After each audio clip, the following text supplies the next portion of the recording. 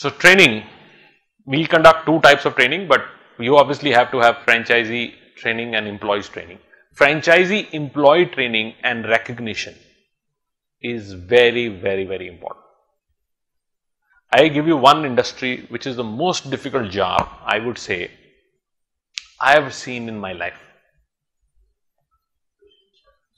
Insurance is difficult, but still white collar. You still go to entire thing. I'll give you a job which is very uh, difficult, which is a guy who puts petrol in your gas station. Uh, is a very difficult job. All day this guy is out in, especially weather like this, is outside. All day he is consuming smell of diesel, petrol. He has no consumer interface. Most of the times he opens up tank and put there entire wherever you get your car filled, see that have people change there? Never. You will see the same guy for years and years giving your tank fill. So, most difficult job, it should have most iteration, but no attrition. Why?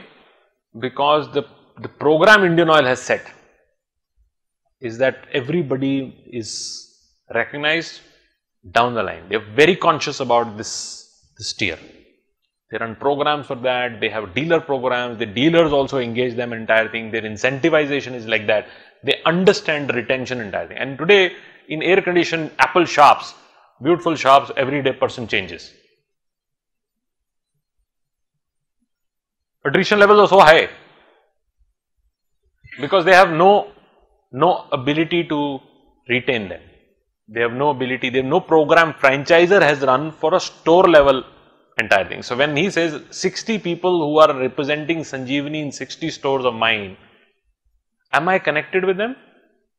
And if not, then 60 people say 60 stores into 5 people average store, 4 people in average store. So, he has a direct employment of 240 people who represent Sanjeevani.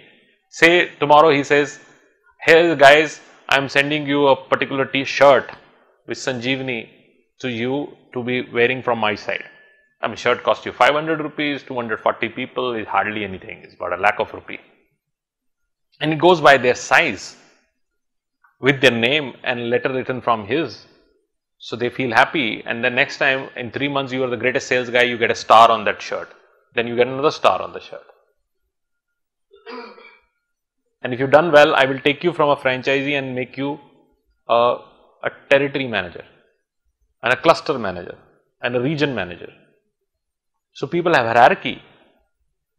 The guy who works in my, I have a food business also, I have invested. So uh, I invested inside, I saw a trend in food business. The first guy I invested was from Costa.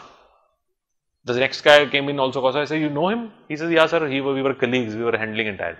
Recently I had another guy and uh, I told them he's come parallel, but suddenly everybody starts calling him sir. So I got surprised that why everybody is saying him sir when I have not even told him to report to him. So I asked him, I says what? He says no sir when we were joined Costa, he was our area manager and we report into him.